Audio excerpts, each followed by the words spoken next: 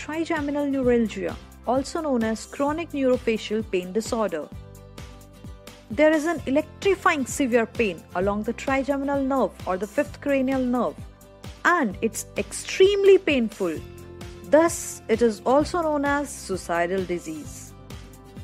Branches of the trigeminal nerve has been discussed earlier in another video. So, the trigeminal nerve is examined for a correct diagnosis of the trigeminal neuralgia.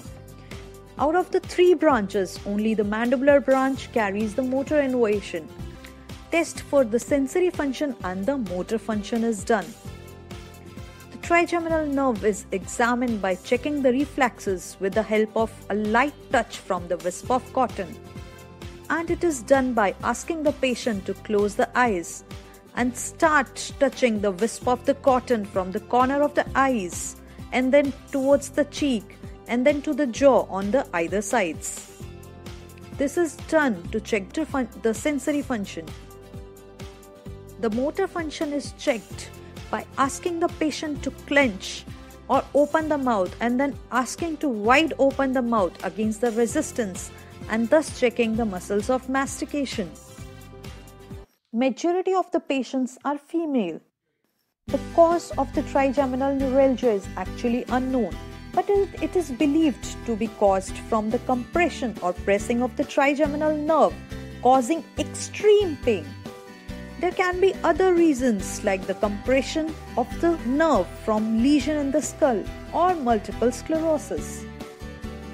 The individual complains short, sudden, and multiple episodes of sharp, electrifying pain on the face observed while eating or sometimes while brushing. It goes off throughout the day. Trigeminal neuralgia is often misdiagnosed with a dental pain. X rays don't tell you that you have trigeminal neuralgia.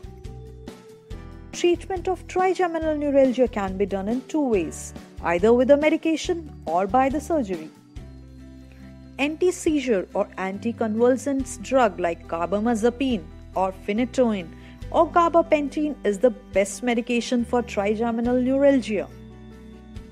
If the pain does not goes away with the medication, then surgical procedures are to be done.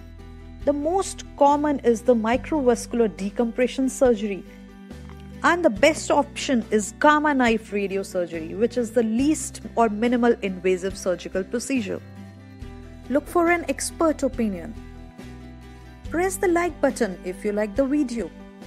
And if you want to watch more videos like this, then subscribe to our channel Dental Pathshala.